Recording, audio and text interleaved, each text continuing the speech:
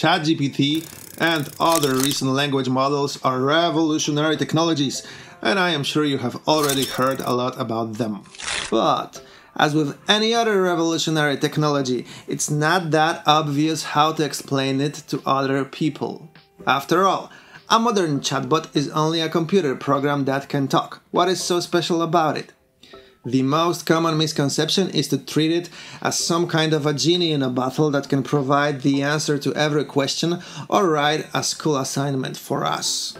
There is definitely much more we can do with it. In this and future videos I would like to show you some practical activities that you can do in the classroom with your students in primary school or high school to give them a better understanding of why a modern chatbot is much more than a talking Wikipedia. First thing first, as for the chatbot itself, I suggest not using the most popular ChatGPT as it very often has downtimes due to high demand and the free version has limited number of questions you can ask at a time. Instead, I suggest switching to Bing Chat, which is a part of uh, Bing search engine by Microsoft and you need Microsoft Edge browser to use it. But Bing Chat uses the same language model as ChatGPT, so it's also almost the same quality. Uh, it's very reliable. It works most of the time, and um, and it's free. And it most probably will remain free. So it's the most reliable solution to use in the classroom with your student. Of course, uh, the activities I am about to show you are universal, so you can use any chatbot to perform them. Activity number one, uh, playing games, word games, as we uh, play games by talking with a chatbot, so these are word games. We use Bing Chat. I suggest switching it to the creative mode. Uh, then it becomes more funny and more engaging. We don't need to be very precise and formal. And uh, the simplest game we could play with it is um, guessing guessing things like, with the answer yes and no only.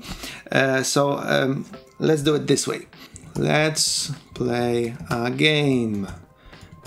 You think of an animal and I have to guess it.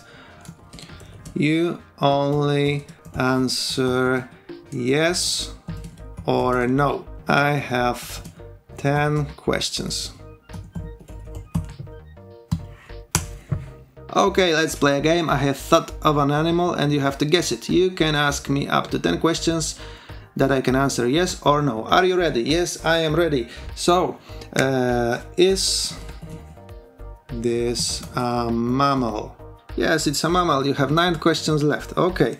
Is it domesticated? No, it's not domesticated. You have eight questions left. If it's a mammal, it doesn't fly. So, does it does it eat meat? Yes, it does it meat. It's a carnivore. Uh, you have seven questions left. Is it bigger than a dog? Yes, it's bigger than a dog. Okay, so it's a big mammal living in the wild. Um, does it live in Europe? No, it does not live in Europe. Big mammal that doesn't live in Europe. Um, and eats meat. No ideas. Is it a type of cat? Yes, it's a type of cat. You have not four questions left. Okay, so we're getting closer. Is it a lion? No, it's not a lion. Uh, hmm. Does it live in uh, Africa? Yes, it does live in Africa. Is it a tiger? But tigers live in Asia. So if it is not a lion, maybe a cheetah. Two questions. No, it's not a tiger. So my last question. A big cat that lives in Africa. Is it a cheetah? But cheetah is is it a bigger than a dog? Maybe yes. Yes, it's a cheetah. Oh, I guessed in my last question. Okay. Do you want to play again? If so, you can think of an animal and I will try to guess. Yes, let's switch roles. I think of an animal and you ask me questions. Okay, let's switch role. Blah blah blah blah. Let me start with the first question. Is the animal a mammal? Oh, yes. Okay, the animal is a mammal. Let's me ask the second question. Is the animal domesticated? Yes. Is the animal bigger than a cat? Yes. Okay, the animal is a mammal, domesticated and bigger than a cat. Let me ask the fourth question. Does the animal have hooves? Ooh, what are hooves? Okay, I had to check it in the translator. Uh, no, it does not have hooves. Okay, this is a mammal, mammal bigger than a cat, but does not have hooves. The fifth question: Does the animal have fur? Yes. Does the animal bark? Yes, it barks from time to time. This is easy. Man, is the animal a dog? Yes, it is a dog. Yes, the animal is a dog. I guessed it right. Hooray! You picked a very common and popular animal. Dogs are loyal, friendly, and smart. They can be blah blah blah. And so he tells me what a dog is right now. But you can see that uh, this very this game is very simple, but gives us very nice feeling about the reasoning capabilities of this uh, this chatbot. He uh, he can talk with us in a uh, normal normal way. We can ask him uh, to, to perform a certain action like uh, playing a game, keeping a secret for us, and answering questions. And then again, we can switch the roles where he asks questions to us and he is able to guess what we have on our mind. So uh, he must do quite a lot of processing beneath this this whole process to figure it out that I was thinking of a dog. Okay, Activity number two role playing. Uh, chatbots are great to pretend someone. Uh, is it a fictional character or uh, someone from a book, from a movie, or uh, maybe some historical character?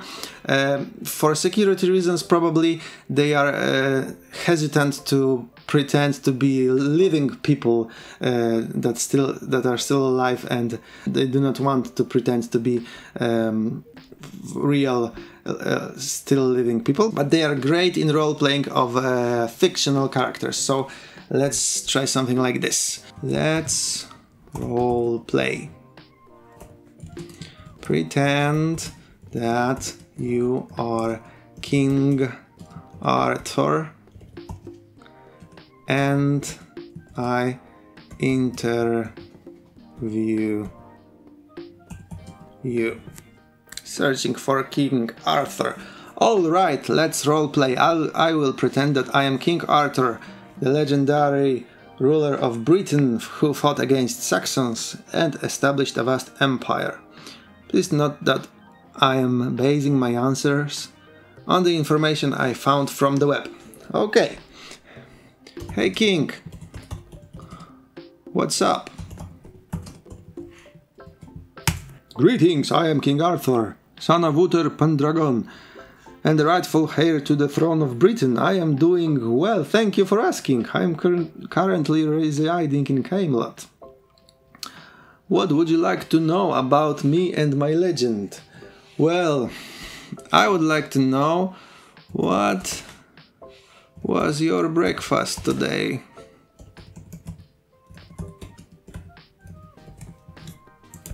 Searching for a medieval breakfast. As a king, I do not have to follow the strict rules of fasting that the church imposes on the common people. I usually have breakfast and bread, cheese, egg, and bacon, accompanied blah, blah, blah, by wine and ale. Sometimes I also enjoyed some fish, especially salmon or herring. According to some resources, breakfast was not a common meal in the medieval times. Okay, so we see that the chatbot a little bit fell out of role. Uh, he gave us the first part of the answer as the as the King Arthur would say it, but the second one was a bit of a an explanation. And it happens quite often that over the time in the discussion he starts to lose the context. He starts to behave more like an a Wikipedia, like a talking machine, not not the character that we intended him to, to play. So to keep role playing with a chatbot more engaging, it's important to uh, give him much clearer and fuller um, explanation and instruction how sh- he uh, should behave. Let's start the role play again. Let's play role play. You are King Arthur and I interview you.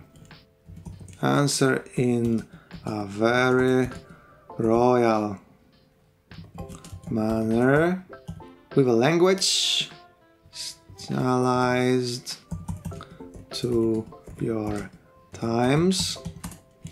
Keep the answers short. Be impatient because I waste your precious king's time. Okay, let's try it that way.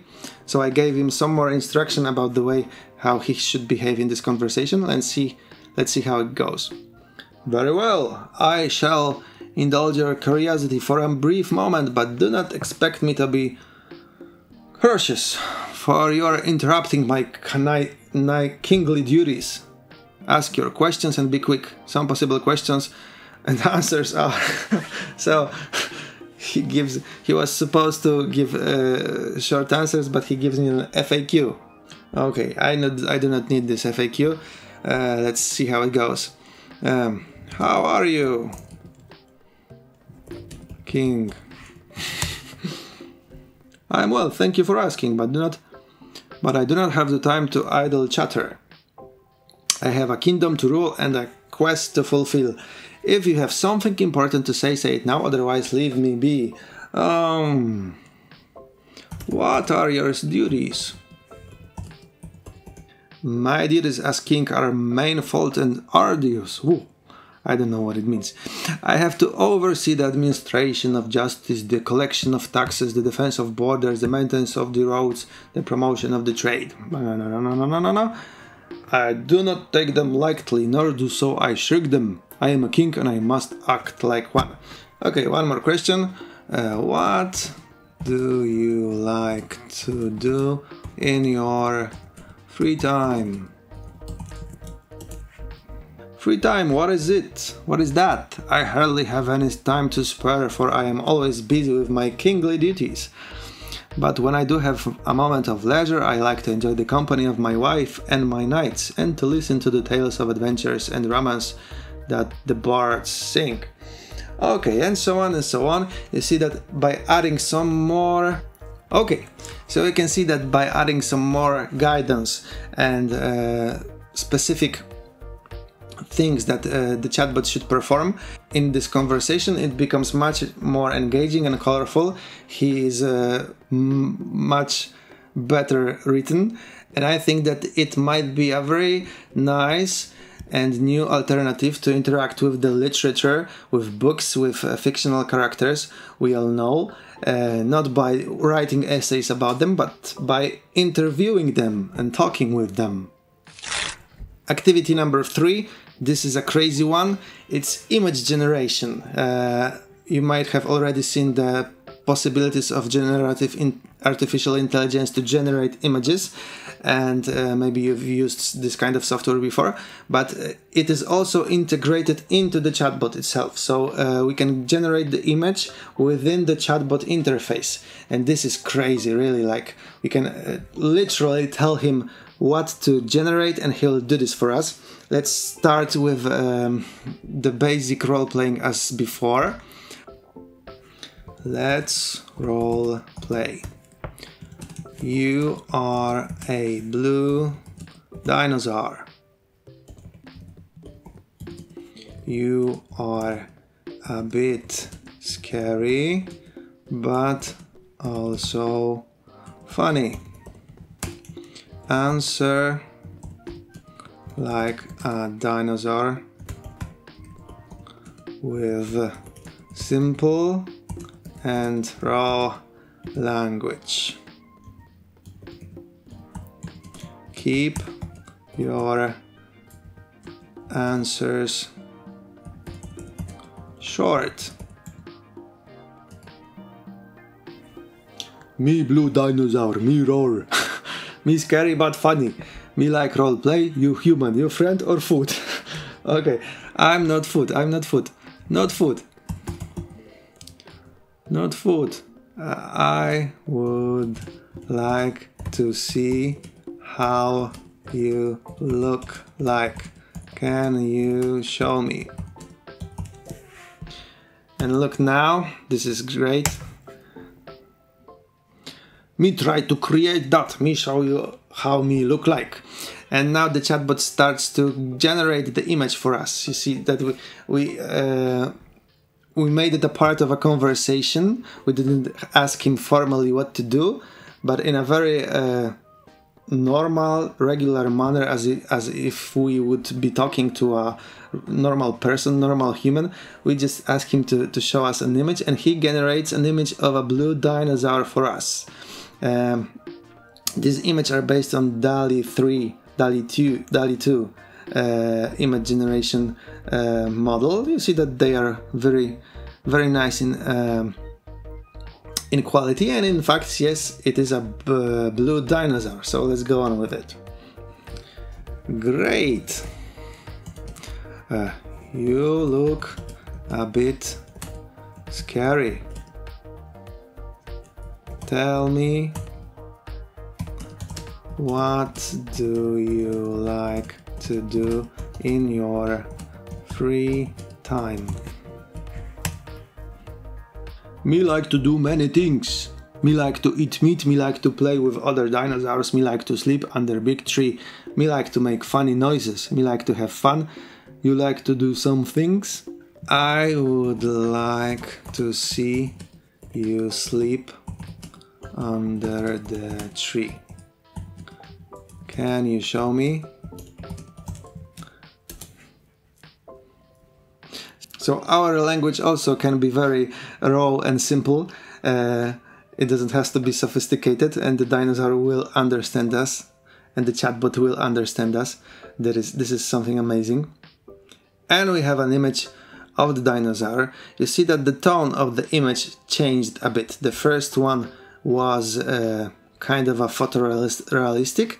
The second one are more like a, a children book uh, picture. Um, maybe it's because of this topic uh, that the dinosaur is sleeping under a tree uh, is more commonly used in this um, children's stories manner. So this image is uh, more in that mm, style but still it's very good quality, it's exactly what we wanted to see. We have a blue dinosaur, it's under a tree, the picture is quite nice, uh, so very useful. You can of course download it and use it for whatever we want. Uh, but let's make something out of it uh, a bit further. Very nice. I would like to have this image as a sticker. Could you design it for me? Could you design a sticker for me? Mr. Blue Dinosaur. Me glad you like image. Me can design, design sticker for you. Me use my own words and knowledge. Me make sticker look good. me show you sticker soon. Me hope you enjoy the sticker. Okay, let's see. Oh, he stopped answering and didn't started to generate the image. Let's uh, let's try again. Please generate st this sticker image for me.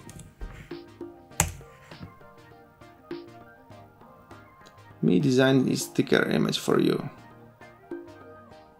And we have uh, the design of our sticker. You see, it's it is what we wanted it to be. So it's a blue dinosaur under the tree.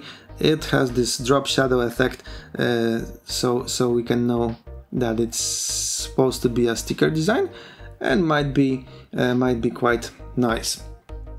We can still ask him to process it uh, furthermore. Like for example, I need it in black and white. Can you fix it? Me sorry for mistake. No need to be sorry, it's not a mistake. Me fix image for you. Let's see. Okay, so we have the uh, sticker uh, in black and white. Still, the dinosaur is uh, still blue. And we could uh, process it more, more to, to, to achieve the effect we, we need but uh, I think you can see the pattern by now that it's in my opinion it's something almost magical. It's like technology from the future where you just uh, you just chat. You just talk with a with a chatbot like a regular person and he he is a graphic designer for us. He does all the thing. He get, he generates the image uh, of a dinosaur. Uh, he can make it in. He can switch the situation uh, situations in which the dinosaur is shown. Uh, he can change the style of the image, uh, and he can uh, process, uh, do some graphical process on, upon the image. So it's it's like a talking Photoshop. So as you can see, this tool is almost magical and very powerful, and we can do crazy things with it.